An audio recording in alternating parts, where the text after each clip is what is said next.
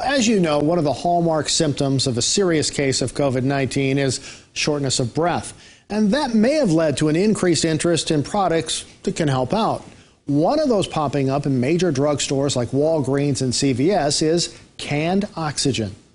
This is a display in Walgreens in Sioux Falls. Cans of Boost Oxygen claim to contain 95% oxygen. The product is also sold online. Because canned oxygen is not medical or industrial oxygen, it can be purchased over the counter and does not require a prescription or license. We wanted to know is it safe?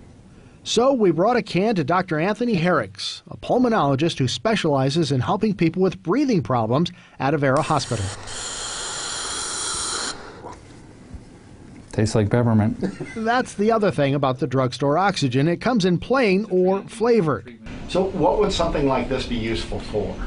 I don't know that it's useful for anything. The, the human body, in theory, needs about 90% oxygen in the bloodstream um, to function well. On Amazon reviews of the product, one person thought it would help with a hangover. He says it did not. Another tried it for cluster headaches and says it did give her relief. Dr. Herrick says oxygen is a vasodilator, so in some situations it can help people with headaches.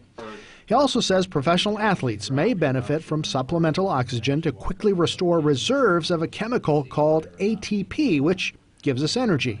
So I think when you see the athletes on the sidelines take a big burst of this oxygen, it fills up the lungs, you get more in the bloodstream, maybe you're able to make ATP a little bit quicker, which means you'll have a little bit more of that immediate energy available. But, you know, for the general human being that's just, you know, jogging down the street or whatever, maybe it's not going to give you really that much bang for the buck. You won't even notice it, probably. Probably not.